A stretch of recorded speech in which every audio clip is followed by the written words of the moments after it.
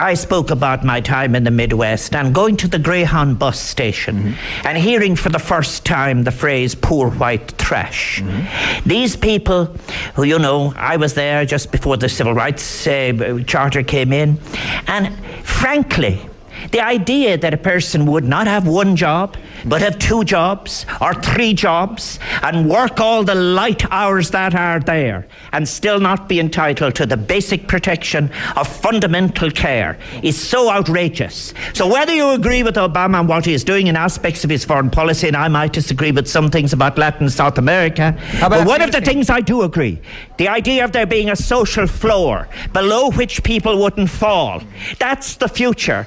I think even the poorest people in the great country that is the United States should be entitled to basic health care. Okay. And I don't think they'll thank the Sarah Palin lookalikes and followers for taking it off them. You- you're about as late arrival in Irish politics as Sarah Palin is in American politics.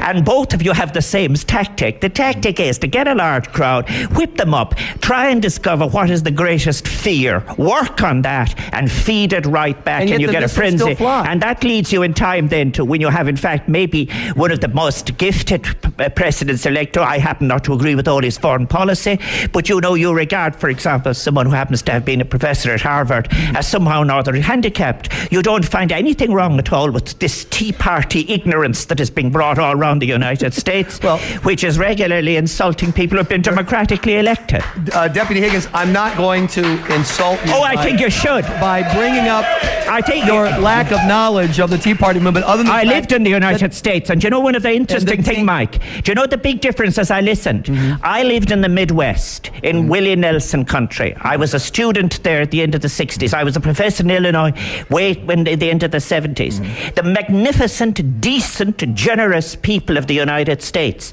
with whom I had supper, people I sat around there, there ate homemade ice cream with them. The difference between them and the tiny elite who are in charge of warmongering foreign policy of the United States is just enormous.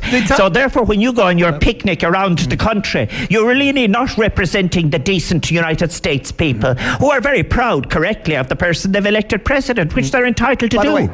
But you have the neck to say that people like me, who are willing to talk to people who are at each side trying to build peace, are somehow or another in favour of people who want to murder Jewish people. Right. That is an outrageous statement. I am not anti Semitic. I am not in favour of murder. And unlike you, I make my profession in politics and I worked in human rights and I condemned Hamas for setting rockets. None of that will matter to you. Because you know what you want? I mean, I wish you well.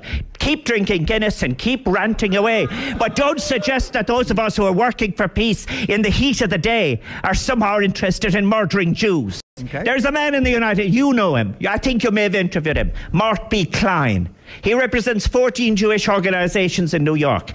He organized 45 members of the House of Representatives to sign a letter condemning Barack Obama for giving Mary Robinson the Medal of Honor. Mm-hmm. Yeah. I was debating with him on a program rather like this. And I said to him, how, why, how can you conclude that Mary Robinson is anti Semitic? And he said, I said, Bishop Tutu, for example. Bishop Tutu is anti Semitic as well.